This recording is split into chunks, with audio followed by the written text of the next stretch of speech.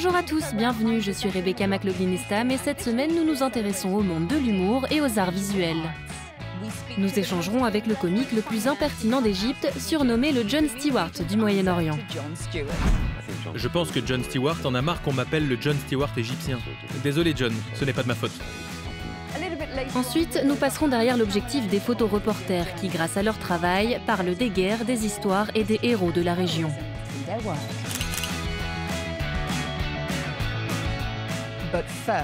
Mais tout d'abord, qu'obtient-on lorsqu'on mélange un chirurgien cardiaque et un satiriste politique? Selon le magazine Time, cela donne l'une des personnes les plus influentes du monde. Son nom, Bassem Youssef. L'humoriste égyptien Bassem Youssef est surtout connu pour se moquer des dirigeants et fustiger leur politique, principalement dans son propre pays.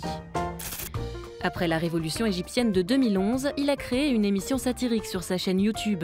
Très vite, il a été suivi par des millions de personnes, ce qui l'a amené à avoir sa propre émission sur la chaîne égyptienne ONTV. Bassem y évoquait la situation politique et sociale du pays, s'en prenant souvent directement au président et aux frères musulmans. Ce qui n'a pas été sans conséquence pour le comique, accusé de troubles à l'ordre public et à la sécurité du pays. Bassem a fini par déménager aux États-Unis pour poursuivre sa carrière sur les planches, sur les réseaux sociaux et à la télé. Il a fait plusieurs apparitions dans l'émission satirique The Daily Show, après avoir été comparé de nombreuses fois à l'ancien animateur de l'émission Jon Stewart. L'humoriste s'est récemment rendu aux Émirats arabes unis pour co-animer la cérémonie des hommes de l'année 2019 du magazine GQ Moyen-Orient, un titre remporté cette année par le joueur égyptien de Liverpool, Mohamed Salah. Nous nous sommes entretenus avec Bassem Youssef lors de son séjour à Abu Dhabi et nous l'avons interrogé sur la satire politique au Moyen-Orient et ailleurs. Bassem, bienvenue dans Inspire Middle East. Merci de me recevoir. Lorsque vous traduisez vos textes de l'arabe vers l'anglais, perdez-vous une partie de leur puissance, de leur nuance Le message lui-même est-il dilué? On ne peut pas traduire l'humour, on peut l'expliquer, mais il faut toujours réfléchir en fonction de la langue que parle notre public. Donc quand on est sur scène, on ne fait pas les mêmes blagues, on ne raconte pas les mêmes histoires. Ce n'est pas une simple traduction. Il faut tout repenser. Et même ça, ce n'est que le début. Car même si on trouve les bonnes formules, il faut aussi faire le même genre de prestation avec la même cadence, le même rythme que les gens qui parlent la langue. Vous vivez maintenant aux États-Unis. Si l'on compare votre carrière en Égypte et les États-Unis d'aujourd'hui, trouve-t-on des similitudes, notamment sur la façon dont les dirigeants perçoivent votre message. in America or in Egypt is similar everywhere. La droite, les partis conservateurs aux États-Unis et en Égypte sont similaires. Leur message, leur manière de s'adresser à la masse, leur façon de faire du populisme parfois, c'est la même chose partout. La grande différence toutefois, c'est la marge de liberté qu'on a pour critiquer, pour faire de la satire. On peut critiquer le système, l'autorité, l'administration, ce qui change de l'Égypte, bien sûr. Et je pense que le principal avantage pour moi aux États-Unis, c'est que j'apprends et je reçois plus. Parce que quand j'étais en Égypte, j'ai connu un succès fulgurant. C'était très rapide. Mais aux États-Unis, il faut plutôt rester en retrait et prendre son temps.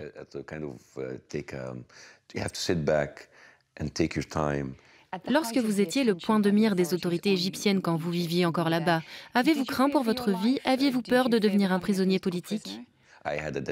Chaque semaine, j'avais une deadline. Je devais produire une émission qui était regardée par des millions de personnes. Je faisais du mieux que je pouvais.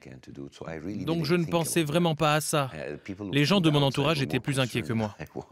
Y a-t-il un sujet tabou pour vous, quelque chose ou quelqu'un que vous ne voulez pas critiquer qui est au-dessus de cela? Parfois, nous discutons de sujets qui pourraient être trop choquants pour le public, qui pourraient faire fuir les gens. Mais une fois encore, ce sont des questions très subjectives. De manière générale, rien ni personne ne devrait être au-dessus de la satire. Vous avez qualifié votre travail de subjectif. C'est votre opinion, vous ne cherchez pas à l'imposer aux autres. Alors, que pensez-vous de la situation économique et politique actuelle en Égypte? Où va votre pays?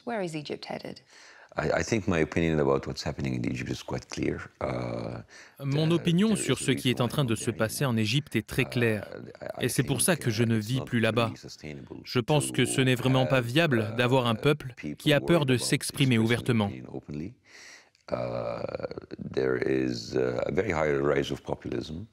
Il y a énormément de populisme et je pense que ça ne pourra pas durer à long terme.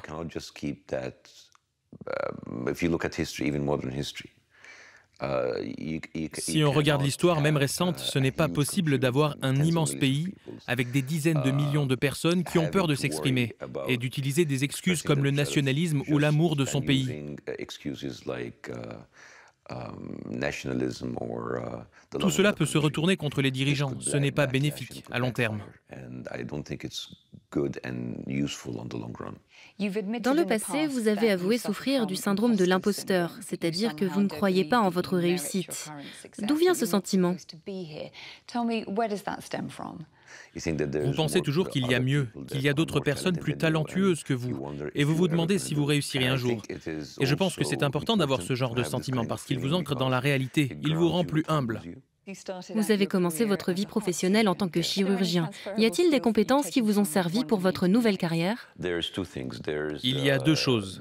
D'abord, l'éthique de travail, car quand on fait médecine, c'est très brutal. Il faut aussi être un peu un intello, être très impliqué dans son travail, y consacrer des heures, répéter. On a commencé très tôt à vous comparer à John Stewart aux États-Unis. C'était juste de la communication au début, mais c'est resté. Votre relation est-elle sincère Que pensez-vous de John Ce n'est pas moi qui ai lancé cette rumeur, mais je m'en suis servi. Au début, quand j'étais sur YouTube et qu'on me demandait quelle est votre source d'inspiration, je citais toujours John Stewart. Je l'aime beaucoup.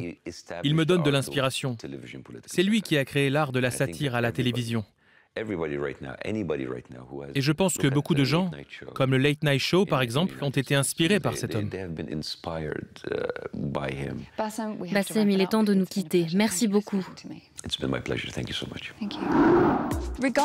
Pour tout type de sujet, la qualité du travail d'un photographe, amateur ou professionnel, résulte souvent de sa capacité à se trouver au bon endroit, au bon moment. Salim et Saïd revient avec nous sur certaines images marquantes qui ont fait la une de l'actualité, mais qui nous ont aussi permis de réfléchir sur le monde qui nous entoure. Moins d'une seconde, c'est parfois tout ce qu'il faut pour raconter l'histoire d'une vie. Cette photo de 2017 montre par exemple l'instant précis où Thomas Abdullah Amo, 13 ans, a réalisé qu'il allait vivre. Ce jeune yézidi est le seul survivant parmi 23 personnes kidnappées par Daesh. Il s'en est sorti de peu après avoir été utilisé comme bouclier humain. Le photojournaliste iranien Afshin Ismaili était là pour raconter son histoire. Son exposition, intitulée Enfants de la guerre, a été présentée au festival de photos Exposure dans l'émirat de Sharjah. Voyageant principalement en Syrie et en Irak depuis 2015, Afshin Ismaili risque sa vie pour montrer les visages humains derrière les gros titres des journaux, comme il l'a fait pour Rameau. Il a subi un lavage de cerveau pour devenir kamikaze. Il a été kidnappé à l'âge de 11 ans. C'est une histoire au sein de l'histoire. Si cette photo n'avait pas été prise à ce moment, personne n'aurait su ce qui arrive à ces gens. Né pendant la guerre d'Iran, Ismaili explique qu'il a trouvé le salut grâce à son appareil photo.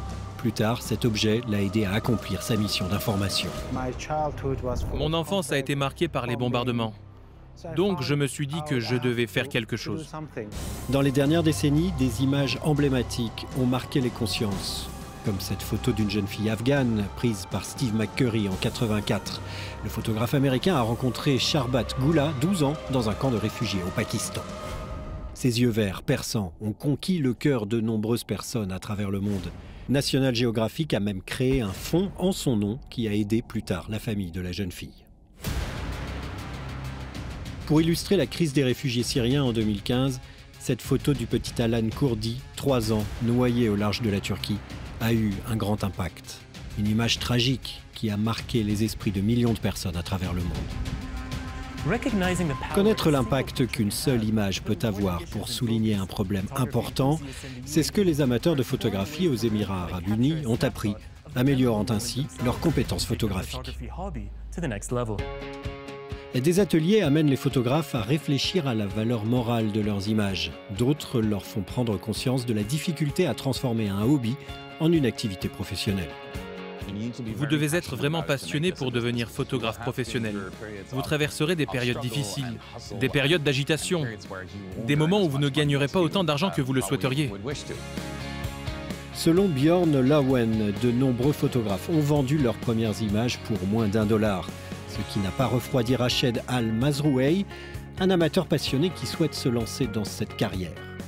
Il s'est rendu dans la région du Ladakh, dans le nord de l'Inde, et au Cachemire au début de l'année. Un voyage qui lui a donné l'envie de faire ce métier à plein temps. Pour l'instant, c'est un hobby, une passion, mais j'espère que j'en ferai ma profession. Peut-être qu'un jour je vivrai de la photographie et je parcourrai le monde pour découvrir des peuples et des cultures. Après avoir vu de la neige pour la première fois en Inde, Almazway espère vivre de nouvelles expériences. Il prévoit de partir bientôt pour l'Afrique subsaharienne, accompagné bien sûr de son appareil photo. C'est la fin de l'émission. On se retrouve la semaine prochaine. En attendant, n'oubliez pas de nous suivre sur les réseaux sociaux. Voici d'ailleurs ce qui a retenu notre attention cette semaine sur Internet. Jenny Lynn des Philippines qui a vu le monde à travers les yeux d'un photographe lors de l'exposition Exposure à Sharjah. Et ses photos de Bassem Youssef avec Mo Saleh lorsqu'il se trouvait à Abu Dhabi.